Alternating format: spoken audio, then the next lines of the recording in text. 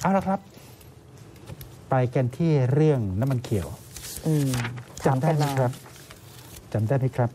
อืมเจาะลึกทั่วไทยอินไซต์ไทยแลนด์เคยนำเสนออย่างต่อเนื่อง เรื่องน้ำมันเขียวค่ะน้ำมันเขียวก็คือน้ำมันดีเซล ผสมสารบางตัวให้มันมีสีเขียวแตกต่างๆเพื่อให้มันสามารถแยกแยะและแตกต่างจากน้ำมันดีเซลปกติค่ะไอ้เจ้าน้ำมันเพราะผสมให้มันมีสีเขียวนี่แหละ เขาจึงก็เลยเรีเรียยกกน้ำมันเขีดียวเซลเอ่อ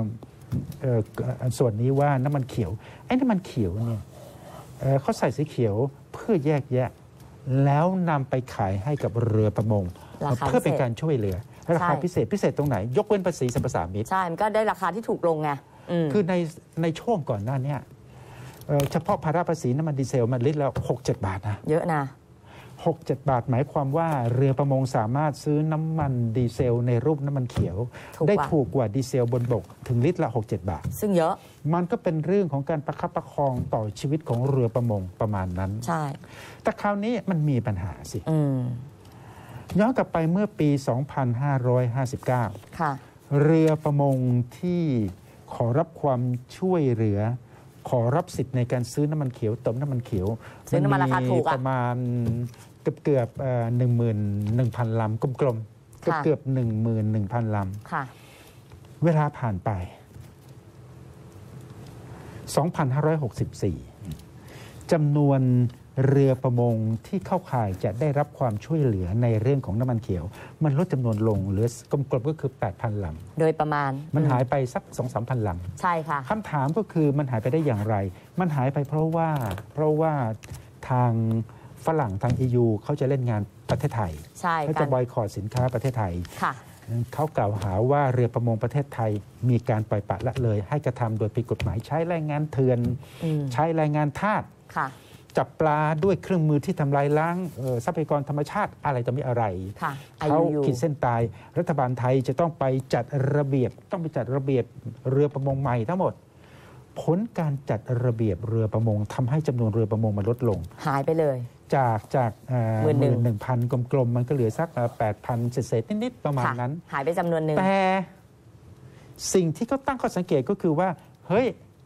แล้วทำไมน้ำมันเขียว มันอะไม่ลงด้วย มันไม่ลงตามจำนวนเรือประมง ที่หายไปเอ้าอืมน้ำมันเขียวในระบบน้ำมันดีเซลที่ได้รับการยกเว้นภาษี 6-7 บาทต่อลิตร ย้อนกลับไปเมื่อปี 59 มันเคยอยู่ที่ปีละ 610 ล้านลิตรอืม2,564 มันก็ยังคากันอยู่ที่ 600 กับ 10 ล้านลิตร ทั้งทั้งๆที่เรือหายไปจำนวนหนึ่งละสองสามพันลำละ มันต้แต่องมีน้ำมันมั่ว สัญชาตญาณคือมันต้องมีมั่ว มีมั่วมีแฝงเอามาสวมรอยถ้าพูดมัง่ายต้องๆนะมีมั่ว มีมาสวมรอยแน่นอมันนต้องมีมั่วอืมดังนั้นนี่คือที่มาของการที่พลตำรวจโทสุรเชษฐ์หักพาน ผู้ช่วยพบตรโดยมอบหมายของซุปเปอร์ลุงค่ะ นายกลุงนั่นแหละอืมนายกลุงดูแลเรื่องค้ามนุษย์ดูแลเรื่องประมงใช่เราดูแลดูแลมาตั้งแต่ต้นแล้วไง เอ่ออม นายกป้อมหรือซุปเปอร์ลุงก็สั่งการไปที่เอ่อเทพโจ๊กไปตรวจสอบหน่อย ดังนั้นจำได้ไหมครับ เราเคยเอาคลิปปฏิบัติการขึ้นฮอตรวจจับน้ำมันเขียวกลางทะเลของบิ๊กโจ๊ก มานำเสนอจำได้ไหมฮะ ใช่ บล็อกให้เห็นเลยอยู่ตรงไหนอย่างไรแบบชัดเจนมาก ขึ้นฮอตรวจเลย ใช่แต่ที่ค่ะจริงการข่าวก็ทำหน้าที่ของเขาพิกัดมาอยู่แล้วไปในระดับหนึ่งอยู่เขาแล้วมีแล้วเขามีพิขึ้กัดนมีฮแล้วอเพื่อเพื่อเพื่อคอนเฟิร์มพิกัด แล้วก็ใช่ส่งค่ะสัญญาณให้เอ่อตำรวจเอาเรือเร็วเข้าประเคชิดลื่อนประชิดใช่ค่ะ ทีนี้ทีนี้โดยกลไกโดยกลไกของน้ำมันเขียวอธิบายกันนิดหนึ่งน้ำมันดีเซลจากโรงกลั่นค่ะ จากโรงกลั่นกลั่นเสร็จส่งเข้าคลัง อืมถังน้ำมัน จากคลังมันก็จะมีเอ่อมนุษย์อีกกลุ่มหนึ่งทำหน้าที่เป็นผู้รับขนนะ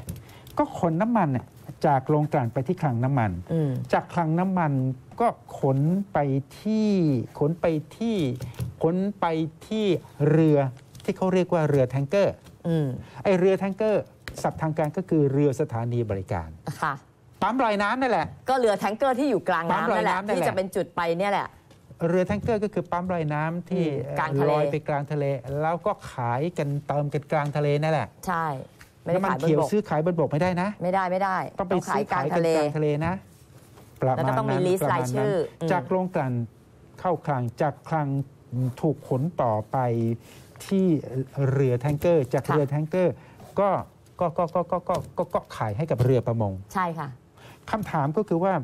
มันต้องมีการโกงน้ำมันเขียวคำถามก็คือมันโกงในขั้นตอนไหนล่ะอืมเอ่อเอ่อมั่วที่โรงกลั่นหรือมั่วที่คลัง หรืออมมั่วที่เอ่อคนรับขนน้ำมัน หรือมั่วที่บริษัทเรือแทงเกอร์ปั๊มลอยน้ำหรือมั่วที่บริษัทเอ่อเดี๋ยวที่เรือประมงที่เมคอะไรบางอย่างเอ่อแล้วก็เอาเรือที่ถูกเมคขึ้นมาจะเมค อะไรก็ไม่ทราบนะ แล้วก็เอาไปเอ่อซื้อน้ำมันเขียวจากเรือแทงเกอร์อืมนั่นแหละก็ไปลุยลุยไปลุยมา ในเบื้องต้นนะ ในเบื้องต้นเนี่ยเอ่อบิ๊กโจ๊กเขาก็ชี้เป้าจับกลุ่มดำเนินคดีไปที่เจ้าของเรือแทงเกอร์ก่อนอืมจากเจ้าของเรือแทงเกอร์ ก็ขยายผลไปที่สมาคมการประมงเรื่องนี้เรื่องใหญ่มากนะ ใช่ค่ะ เพราะว่าเพราะว่า สมาคมการประมงแห่งประเทศไทยเป็นคนออกใบรับรองเรือประมงที่จะไปเติมน้ำมันเขียวอืมเรือประมงที่จะไปเติมน้ำมันเขียวได้เนี่ยต้องได้รับการรับรองจากอืมสมาคมการประมงแห่งประเทศไทย ใช่ถึงจะเติมได้ถึงจะได้สิทธิ์ ใช่ สมาคมการประมงจะรับรองเรือลำไหนต้องตรวจสอบสิทธิ์ใช่จำนวนเข้าหลักเท่าไหร่เกณฑ์ด้วยอืมเข้าหลักเกณฑ์ไหม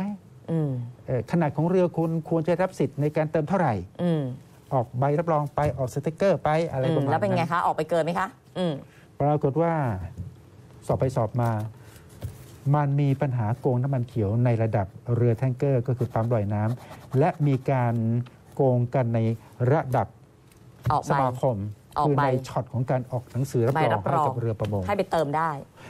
เจ้าของเรือประมงบางส่วนก็ถูกอืมจับกลุ่มชี้เป้าดำเนินคดีด้วยอืมโโอ้โห เรื่องใหญ่มากเลยค่ะ ทีนี้ทีนี้ทีนี้เมื่อขึ้นถึงตรงเนี้ยเข้าใจว่าทางเอ่อบิ๊กโจ๊กค่ะเขาก็ไปขอใช้สถานที่สโมสรตำรวจใช่ไหมครับ ใช่ค่ะ สโมสรตำรวจวิค่ะภาวดีวิภาวดีใช่ไหมครับรังสิตเนี่ยแหละค่ะ แล้วก็แล้วก็ประกาศให้ผู้ที่เกี่ยวข้องกับการลักลอบเติมน้ำมันเขียวโดยผิดกฎหมายทั้งหมดนะอ่าไปรายงานตัว ถ้าไม่ไปรายงานตัว รับทราบข้อกล่าวหา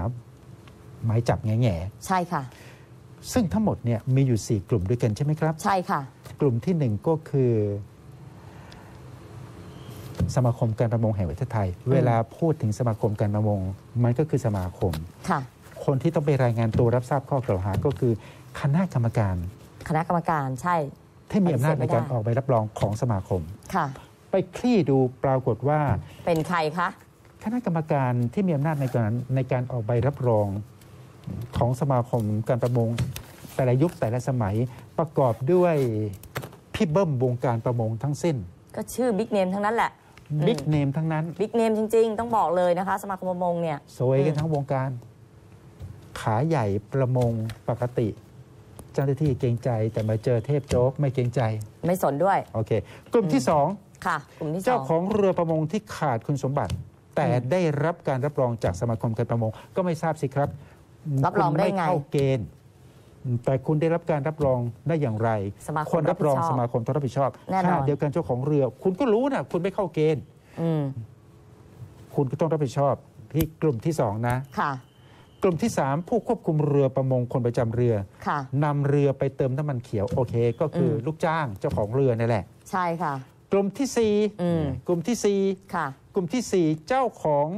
เรือแทงเกอร์อืมหรือเรือสถานีบริการน้ำมันที่ให้บริการหรือเติมอะเจ้าของปั๊มลอยน้ำนั่นแหละอืมเออเอาเอาเอาเอาเอาในเบื้องต้นนะค่ะก็โดนกันระนาว มีบริษัทอย่างน้อยๆก็ 5 บริษัทด้วยกันใช่ไหม ใช่ค่ะเป็นห้างหุ้นส่วนจำกัด 2 ราย และเป็นบุคคลธรรมดาอีก6รายค่ะ กรรมการของบริษัทอีก 7 รายด้วย ส่วนผู้ควบคุมเรือหรือไต่เรือเนี่ยโดนไปทั้งสิ้นนะณตอนนี้ที่เขามีข้อมูลอยู่ที่ 32 รายค่ะ อืม จะกี่รายก็แล้วแต่ค่ะถ้าจะติดตามข่าวนี้ให้สนุกแล้วก็เข้าถึงนะอืมสนใจแค่2กลุ่มพอ ค่ะ กลุ่มไหนคะ กลุ่มที่อืม1บิ๊กบิ๊กในวงการประมง ที่มีตำแหน่งแห่งหนในสมาในสมาคมการประมงแห่งประเทศไทปยฏิเสธความรับผิดชอบไม่ได้เลยนะกลุ่มเนี้ยบอกที่เลยมีชื่อมีตำแหน่งอยู่ในสมาคมการประมงแห่งประเทศไทยใครถูกเออชี้เป้าให้ต้องเข้ารายงานตัวรับทราบข้อกล่าวหาค่ะย้ำนะครับ ระดับบิ๊กๆในแวดวงธุรกิจประมงทั้งสิ้นเนี่ยนะครับเผลอๆระดับพันล้านนะ เที่ยวเนี้ยเป็นไปได้ เป็นไปได้ เป็นไปแล้ว ใช่เป็นไปได้อืไม่มทราบสิครับอืมกลุ่มที่สองที่ต้องโฟกัสเป็นพิเศษก็คือบรรดาเจ้าของเรือแทงเกอร์อืม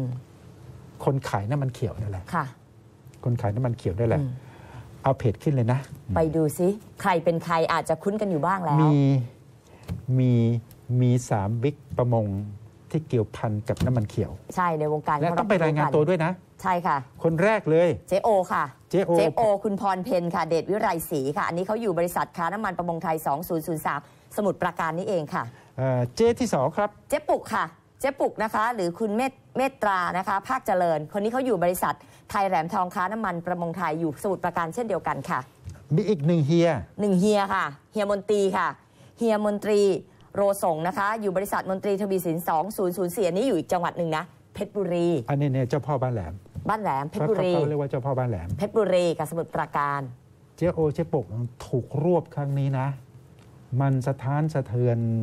ไปถึงบางพักการเมืองเลยนะเออเขาเคืองพี่ดนัยไหมเนี่ยเครื่องสองเจ๊เนี่ยเห็นว่าเคืองมากเครื่ไม่องได้เคืองธรรมดาด้วยอืมเครื่องเครื่องเครื่องเครื่องเครื่องค่ะนี่ก็คือประมาณนี้แต่ที่สนุกกว่านั้นนะเอ่อเท่าที่ทราบจากทีมงานของเอ่อพลตำรวจโทสุรเชษฐ์หักพานนะเขาจะขยายผลไปที่เจ้าหน้าที่อืม